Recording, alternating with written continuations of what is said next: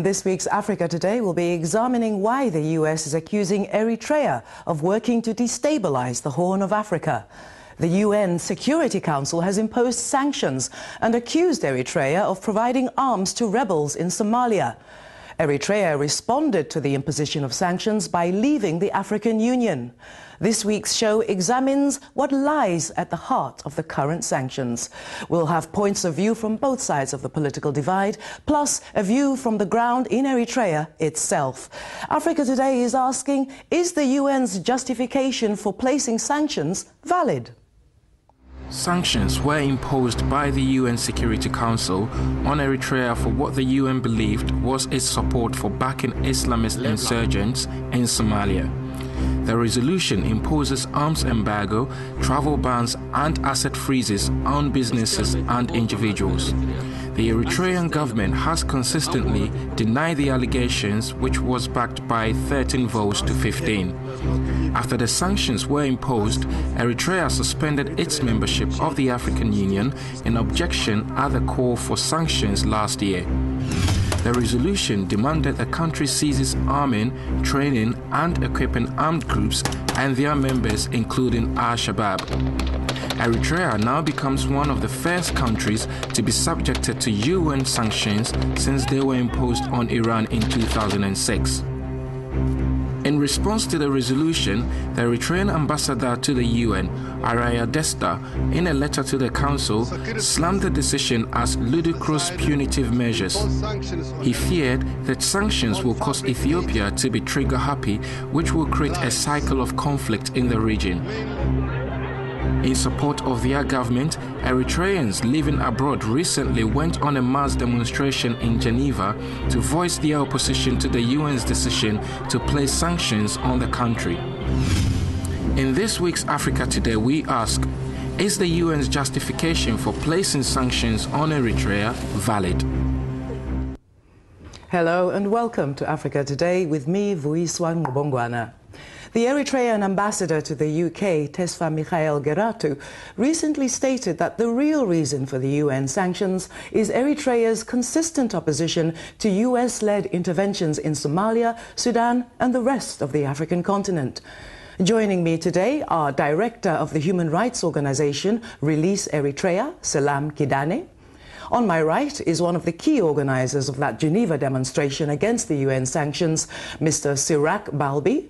And on the phone from Asmara in Eritrea is independent journalist and historian Thomas C. Mountain. Welcome to all of you. Thank you so much for joining us. I'd like to start with you, um, Selam. Now, these sanctions were imposed on December 23rd. Um, so, from your understanding, you know, we've heard the basis that the uh, UN Security uh, Council uh, has given, but uh, do you feel that uh, any evidence was given to support their justification? The problem that we have is the utter um, secrecy that the government of Eritrea operates in. There is no form of independence, uh, independent uh, scrutiny on the Eritrean government. This is a government that enters into deals and agreements with anybody that it likes. There is absolutely no form of scrutiny. The the assembly, uh, effectively, the parliament hasn't met since 2002. So it's very difficult to say uh, what uh, level of evidencing went one way or the other. As an Eritrean, I should be able to um, scrutinize what my government effectively has presented in, in, in essentially my defense and the defense of my people. In the 12 months leading up to December, uh, the government of Eritrea wrote about nine letters to the UN, and these are publicly available. In none, in any, none of these letters attest to any form of um, engagement. The government of Eritrea repeatedly um, accused um, the US, the UN, uh, everybody else, the AU, uh, over everything. And the government Well, okay. of Eritrea also refused a fact-finding mission Let, into let the me border interrupt conflict. you for a second and speak to someone in Eritrea. Um, Thomas C. Mountain, could you, could you uh, respond to what you've just heard there from Selam with regards to uh, the secretive nature of the Eritrean government? Well, let's start with some basic uh, research and, and, and evidence. The UN General Assembly commissioned a special committee on Somalia to investigate these charges, and they appointed Dumisani Kumalo, the South African ambassador to the UN, to um, in, lead this investigation, compile a report, and report back to the General Assembly, which he did. He conducted a very thorough investigation and recently reported back to the United Nations General Assembly that yes, arms trafficking was taking place in Somalia, but the arms trafficking was car- being carried out by Ethiopia, not by Eritrea. Ethiopia and the African Union soldiers stationed in, in Somalia are responsible, according to the report, for at least 80% of the arms in Somalia. The report in no way implicated the Eritreans in arms trafficking or supporting terrorists in Somalia. Now, that's the evidence in support of Eritrea. Okay. What's the evidence in opposition to Eritrea?